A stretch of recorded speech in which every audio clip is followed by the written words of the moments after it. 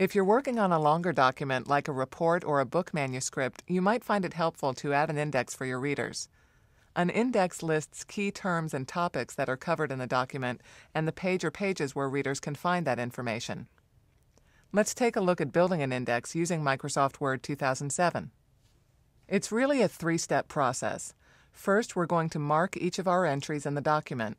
Then we're going to choose a design, and finally, build the index. So let's mark our entries.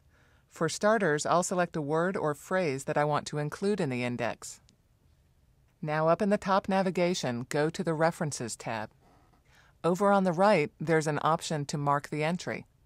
And here's our helpful dialog box to guide us along.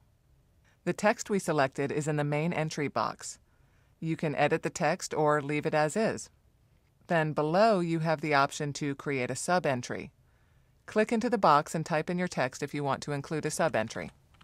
You can even create a third level entry by adding a colon and typing another word or phrase in the sub-entry box. Just below you'll see there's also an option to cross-reference to another entry. Just like sub-entries, this one's optional, and I'm going to leave this blank for now. Finally, in the bottom of the box, you can choose whether to make the page numbers bold or italicized in your index. Now you can mark the entry. If you just want to mark the one instance that you've highlighted, click on Mark.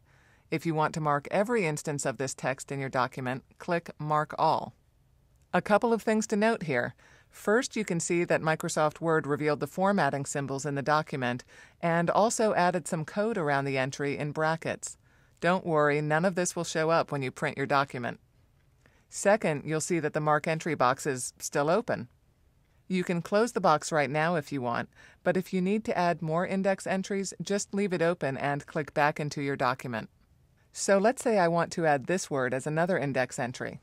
I'm just going to highlight it and go back to the top navigation to click on Mark Entry. There's the text in the Mark Index Entry box under the main entry, and then I can add anything else I need and click to mark it or mark all. When you're done with everything on the page or in your document, you can click Close to make the index entry box disappear.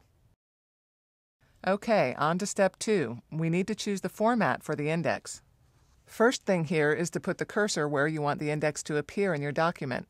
That's usually going to be the last page. Now head back up to the References tab and right next to where you would click to mark an entry, you'll see there's an option to Insert Index. That's what we want to do, so let's click.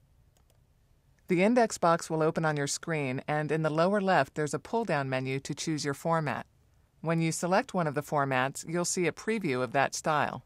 You can even create your own style by choosing the From Template option and clicking on Modify. That gives you a whole list of styles to choose from. But I'm going to use one of the existing formats, so I'll cancel out of here and go back to the pull-down menu. I'm a bit of a traditionalist, so I'm going to go with Classic. Then over here on the right, you can also choose whether you want your entries to be indented or run together and how many columns you want. And of course, when you're all done, you're going to click OK. That's actually step three.